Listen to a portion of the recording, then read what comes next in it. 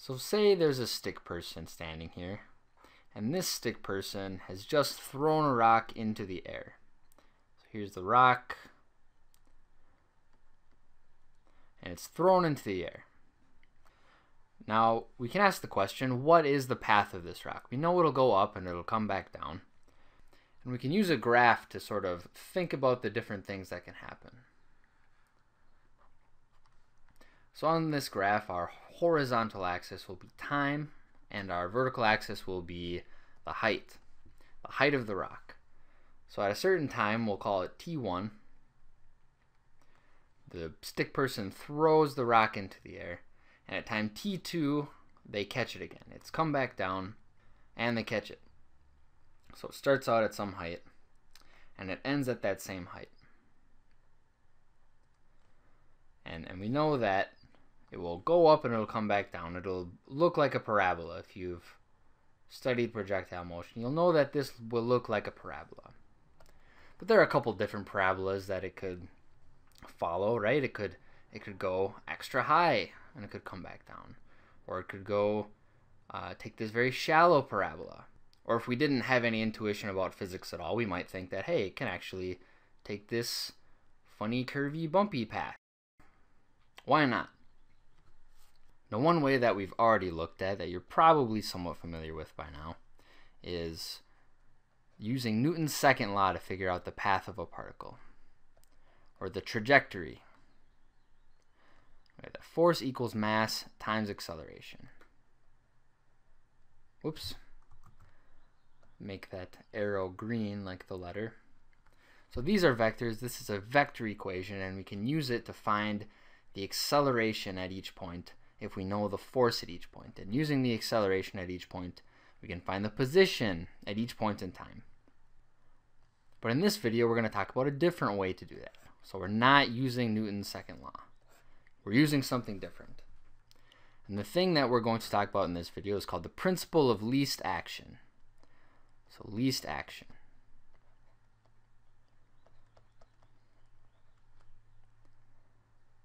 Least action. What is action? Well, at each point along this path, along every path, but at each point, the rock has a certain kinetic energy and it has a certain potential energy. So for kinetic energy, I'm going to write t as a function of time.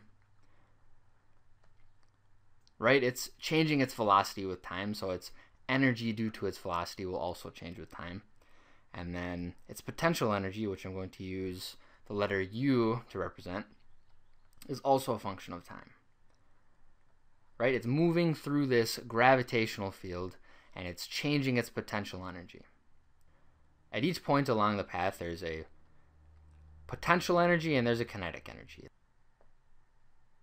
And if we want to write it for this particular situation, we would write 1 half mv squared for the kinetic energy of the rock and then since it's in a uniform gravitational field, we would write for the potential energy mass times the acceleration due to gravity times the height.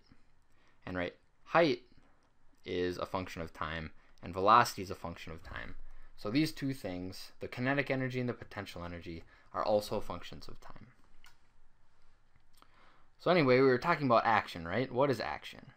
Well, action for any path is the difference at each point of the kinetic energy and potential energy added up for each point. So I should I should say that again.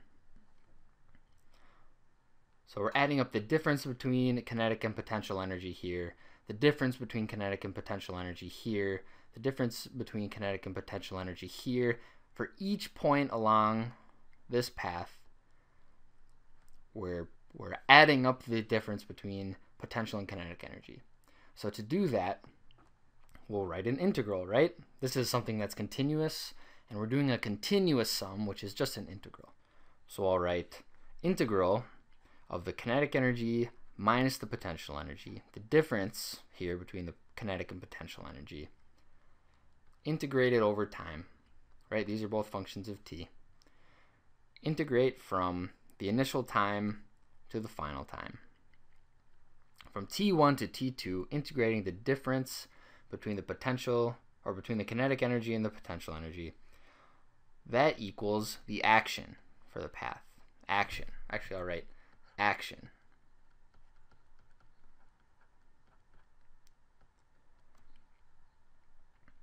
And we use the letter S for action for some reason. I'm not sure why. So each path has a different action, right? So for the action for this pink path is all of these points added up, all along this path. The action for this shallow path is all of these points added up, the difference between kinetic and potential energy. And it turns out that the real path that is taken by the particle, or the rock in this case, is the path where the action is the least possible value for all possible paths. So any crazy path we could have, this path has the least value for the action. Now this seems like something that's fairly mysterious and something we're not really used to thinking about, right? The difference between these two energies dictating the path of a particle, right? We're used to thinking about forces, right? In Newton's second law. But there's a somewhat reasonable way we can try to make sense of this as a as a balancing act between the kinetic energy and the potential energy. So if a certain path wants to have a small action, it wants to have a small average kinetic energy. So T should be small on average. And because of this minus sign here, a path that wants a small action should have a large large average potential energy. So the rock takes a path that's the best compromise between having a small kinetic energy and a large potential energy. So let's think about this path right here, this very shallow path. Since it's not going very high, it doesn't have to go very fast to get to get to its highest point, right? It doesn't have to go very far. So it actually does a pretty good job of this goal of having a small kinetic energy. But the trade-off of going really low is that it actually it doesn't reach very high, right? It doesn't it doesn't do a very good job of accomplishing this goal, a large potential energy.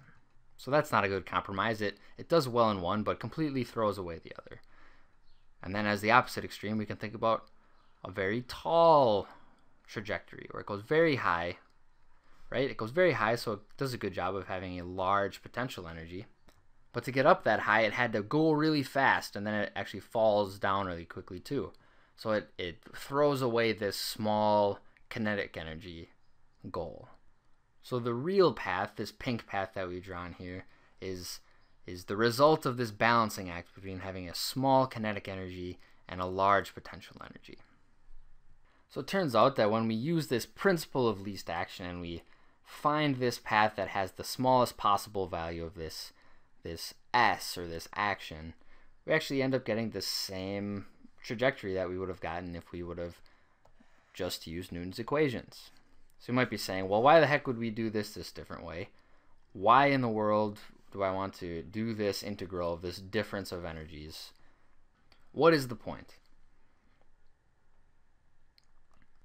Well, the first reason I think is that it's you know, it's just plain interesting that we can take this very different view, interesting, of of the requirement that that nature follows, right? We can think of it this way and we get the same results as if we think of the force. So this looks at the entire path from one end to the other and Newton's Newton's second law it actually just talks about what's happening at each point, one point at a time. So, really, with a very different strategy, we can get the same things, and that's, I mean, that's kind of crazy, right? Now, the other reason why you might want to know this is that it's actually quite useful for some things. Useful. So these, I mean, this, for anything we're learning in physics, I could have written down these two reasons, but but this is specifically useful for more complicated cases, more complex cases.